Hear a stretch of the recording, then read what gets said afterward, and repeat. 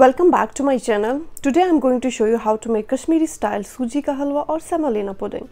This semolina dessert flavored with cardamom and saffron is delicious and easy to prepare. Suji halwa is a classic Indian semolina pudding made with ghee and enjoyed by all. This soft and savory halwa is a welcome treat for taste buds at any time. So let's get started. For making this I have taken 1 cup of semolina or suji, half a cup of ghee or clarified butter and 1 cup of sugar. I have taken a measuring cup for all the measurements. You can take less sugar if you don't like too sweet. 4 green cardamoms or you can take cardamom powder also. 2 tablespoons of sliced peeled almonds. 2 tablespoons of coconut scraps. 2 tablespoons of raisins. 2 tablespoons of cashews.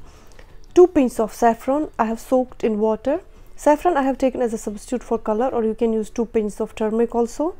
And 3 cups of water dry fruits you can adjust accordingly. If you don't want you can skip them. In a pan i have heated up 3 cups of water and added sugar to it and i'll add green cardamoms and saffron. We have to let it boil. If you are not taking saffron you can add 2 pinches of turmeric. That will also give yellowish color. Let it boil till all the sugar is dissolved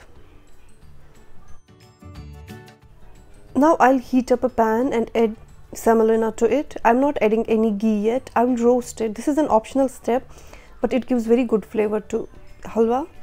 So we will roast it on low flame till it starts to turn brownish.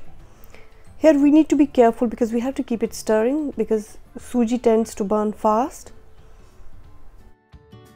Once it has been on flame for a while and aroma it has released aroma.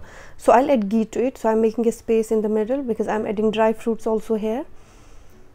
Because uh, frying dry fruits a bit gives good aroma.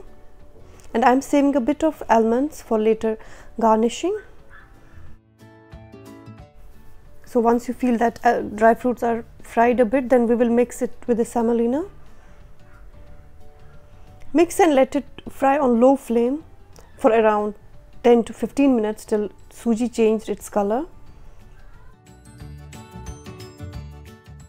Keep stirring so that it doesn't burn.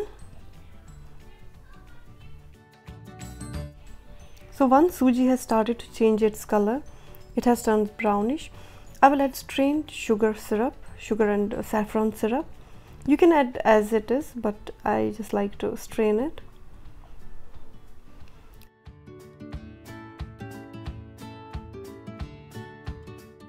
Keep it on high flame till it gets its first boil and then keep it on low flame for around 5 to 10 minutes till all the water is absorbed and ghee is visible on the surface.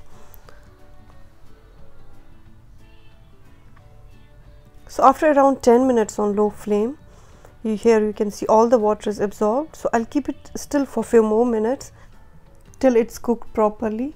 Here an important thing is to, that semolina should not lose its texture it should get cooked but it should not lose its texture. It should have that grainy bit grainy texture.